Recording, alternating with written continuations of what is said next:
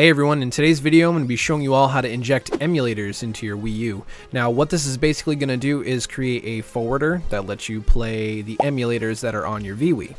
Now, if you haven't seen my previous video where I show you how to set up all sorts of emulators on that, you might want to check that out because a lot of these have to be configured already before we can continue. So uh, let's just jump right into it. Okay, now that we're back on the PC, I'm going to show you guys the tools and things that we're going to be using here today. The first being UWU VCI. I've already covered this in two different videos, so I'm not going to cover the install part of this, but you are going to be grabbing this link here. Again, I'll leave a link in the description below. Once you have this program installed, you need to select the emulator that you want. And I'm going to be showing you two today. One's a simple one, Super Nintendo, and one that I found to be a little more difficult, and that's the Nintendo 64, but I'll get to that. So to start off, we'll do Super Nintendo. Now you're going to be grabbing all the uh, emulators that are for the VWii. So we have SNES 9X GX right here. Just going to open that up and hit download. And we're going to grab the zip now that's the first one. Now one thing that I noticed here is that if I go back, if I use the Wii 64 on here, it does not work. It, every time I try to inject it, it's just a black screen. So I had to find, a, I guess, a different fork of this, just of Mupen 64. So we're going to be downloading the Wii 64 Wii Virtual Console forwarder.dol and the Mupen 64 Fix94 zip. So we're going to be grabbing both of these here today. Next up is the N64 injection compatibility list. Now there's quite a few of these I believe for uh, different emulators, but what we're going to be doing here is just checking out the N64 because I'm going to be working with that a little more today. Now the game I'm going to be going with is F-Zero X. got the American version and it's in green and that means it's working. There's a chart right up front that tells you what games work and what games don't and it's pretty simple to follow. Now to start off, we'll go ahead and extract the Mupen 64. Just go to extract 2, and then extract the SNES 9X GX here. So right click, extract to, and then we can delete these two zips. And we're gonna open the UWU VCI AIO program. And we're gonna be injecting all these as Wii Virtual Consoles. So I've done this before in the past, and the game that I used was Rhythm Heaven Fever. Let me just center this a little more.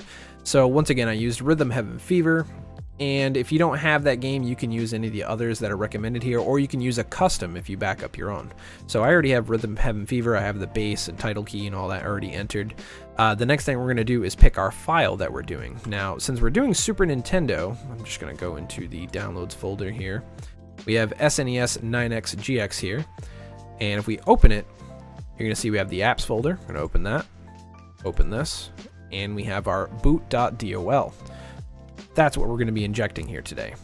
Now the rest is just kind of all cosmetics. You can use uh, an icon image, a TV image, gamepad image, logo, boot sound, and game name. Since this one isn't the one I'm focusing on today, I'm just going to show you guys how that's done. Just Super Nintendo. And you just hit inject. It's pretty simple. There is an option that I missed up here for use gamepad that says do not use. You can switch that on and off and use it on or off, which I'll show you once we get to the N64 portion of this. Once you hit inject, you're just to hit close, and then you're to grab the WUP installable. Now when it's all complete, you're to get something that says injection complete and open folder or copy to SD. I'm just to go to open folder. And what this is going to do is give you all of the injections that you've made currently. I have quite a few. You can see these are all emulators here. And we did the Super Nintendo. So all I'm going to do is open up the SD card. We're going to go to install and drag the Super Nintendo folder in. Now that's pretty simple, but like I said earlier, you also need to have the emulators on your SD card. So if we just take a look here, you can see in my apps folder, I have SNES 9X GX with all that information. And if I go to the root of my SD, I also have an SNES 9X folder with the ROMs and everything that I'm going to be using. So if you don't have that set up, you might want to watch my previous video that shows setting up practically everything. But uh, yeah, moving on, let's start with the N64 now. Okay, so now Nintendo 64. This one's a little different. So like I was telling you earlier, the base Wii 64 that I had earlier just would not work. Maybe it's different for you. I can't really say for certain, but I know that this one worked for me. So what you're going to do is if you already have an N64 emulator installed, you're just going to be replacing files here. So Mupen 64 GC, for example, we're going to open that up. You're going to see we have apps and Wii 64. So all we're going to do is open up apps and open up the apps folder on our SD as well. And we're just going to throw in Wii64. You have this option, just click replace the files in destination. And now we're going to head back to the root. Now the next thing you're going to do is also replace the games folder that you keep your ROMs in. Just make sure that you uh, copy everything over. So again, open the Mupen64 folder. You'll see you have Wii64. If you open that, you got ROMs and saves. We're just going to toss that right into here and replace the files in destination again. Now that's it as far as this goes. The only other thing that we have to do is put our ROM in, which I have one here. Uh, let me just minimize this. So if I open Wii64, open ROMs, I'm just going to toss in F0X. And now that part's done. All we have to do now is just inject it. So opening up that tool again, go back to Wii, choose your base. Once again, I'm doing Rhythm Heaven Fever uh, before you select your, your path here, you're going to go to use gamepad as, and you'll see a drop down menu. I'm just going to use it as a classic controller. Then you're going to go to select file. And we're going to look for the uh, forwarder.dol that we downloaded earlier. So if we go to icon image here and create file, you can go to select file and we'll have the icon that I created earlier. So I'll do N64. And you can choose how this looks. You can style it, make it have WiiWare or Wii Homebrew. So I'll leave it on Wii Homebrew for now, do finish. Then you're going to do your TV image, which for me, for this purpose, I really don't care. So I'm going to use the same image. Now you can either leave this overlay on or off. This kind of blows up your image and uh, unless you have, unless you know the right size, it's just going to look bad. So I'm just going to leave it enabled. And you can stylize this as well with WiiWare, uh, homebrew or alternative Wii, which if it's like a little virtual console, you can enter a name. So I can put uh, N64 emulation and players 4 and then just hit finish. And next we'll do the gamepad, which this one's to be a little different. If we go to the downloads folder here, we go to Mupen64, go to apps, Wii64. This already has an icon, so we have the Wii64 PNG. I'm just going to click that. And uh, leave that as it is. The logo image I'm going to skip and we'll just go straight to boot sound. This will only play, I believe, 5 seconds of a clip and it doesn't really matter how long of a song you put in, it just cuts it off automatically. So let me just toss in a song real fast. Next up, just name the whole thing. We're going to do Nintendo 64.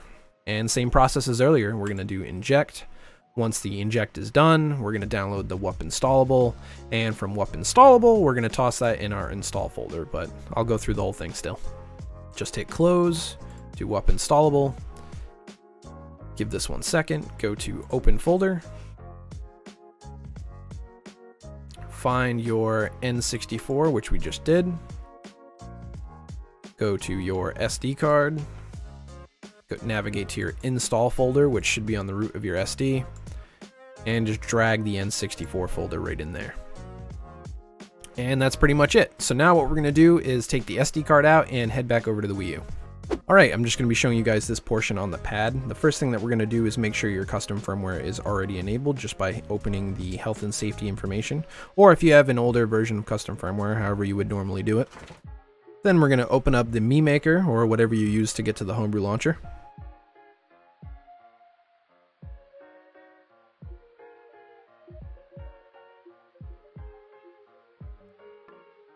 Then we're going to look for our WUP installer. And I have WUP installer GX2, just open that and hit load. And now we have to look for our Super Nintendo. And now we have to look for our Nintendo 64. And then we're just going to do install. It's going to ask you if you're sure, hit yes. And where you want to install it, I recommend doing a USB flash drive or an external hard drive. The NAND's really not that safe because if you mess this up in any manner, it could have the potential to brick your system. It's just safer to do it on USB instead. So hit that.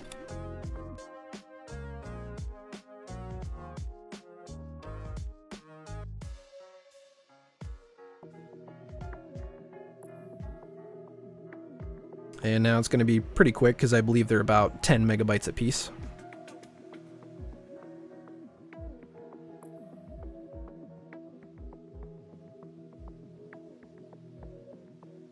And when it's all done, just hit OK. And if we head back to the main menu, you can see right here, the first icon that we did says UWU VCI, and that's because that's our Super Nintendo one that we didn't select an image for. But if you go down, we have our Nintendo 64 that we fully customized. So let's just go ahead and open that up, and I'll see what it does. Same thing again, it's going to say this software supports the Wii U gamepad. Do you want to use it? Just hit yes. You're going to get the brief song that I told you about. And once it fully loads, if you use the pad and use the D-pad, you'll be able to navigate around the menu settings here. We're to go to load ROM, load from SD, and you'll see we have F0 here this time. So let's just go ahead and select that. Hit OK, and play game.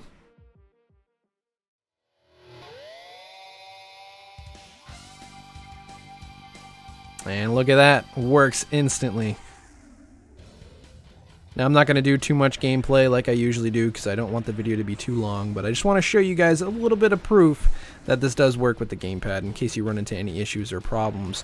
But uh, e even if that happens, feel free to join the Discord or uh, leave me a comment down below. I'll try to get back to you as soon as I can. Uh, that is pretty much the gist of this video. All that's left is for me to drive around and try to win this race. And everything works fine. Now I can use the analog stick instead of the D-pad, so that's cool. I didn't know if that was a, a thing on the actual N64 as well. But uh, yeah, everything seems to be running good, and I'm going to be ending things here.